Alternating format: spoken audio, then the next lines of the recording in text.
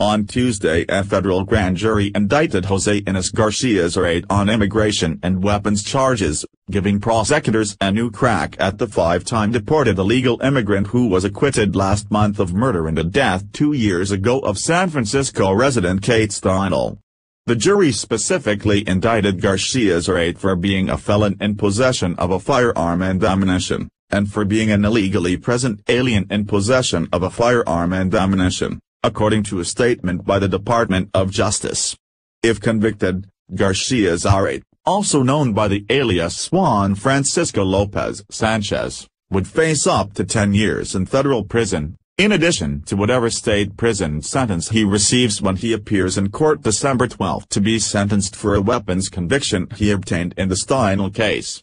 Instead of being convicted of murdering Steinle, Garcia Zarate wound up receiving a conviction on November 30 for being a felon in unlawful possession of a firearm, a relatively minor charge that could entail him serving a maximum of three years in prison, according to the New York Times. Following Garcia's Zarate's acquittal on the murder charge, a number of prominent Trump administration officials lashed out, with President Donald Trump himself deriding the verdict as disgraceful.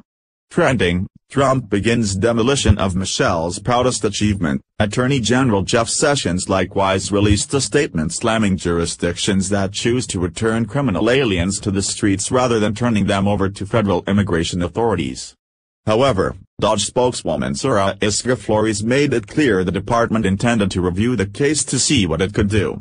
We're looking at every option and we will prosecute this to the fullest extent of the law because these cases are tragic and entirely preventable, she said at the time. But since the principle of double jeopardy prevents the government from trying Garcia Zarate on the same charges as before, the DOJ has instead brought immigration and weapons charges against him. Related, Scott Walker lost every welfare leech's vote with new requirements. Garcia's potential sentence is unclear, assuming he's convicted.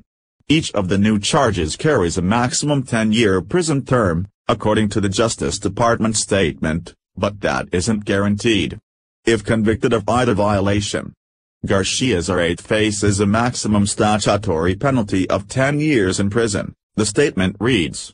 However, any sentence will be imposed by the court only after consideration of the U.S. sentencing guidelines and the federal statute governing the imposition of a sentence. Most of us would admittedly rather he rot in prison for the remainder of his life over his murder of Steinle, who was only 32 when he killed her in 2015.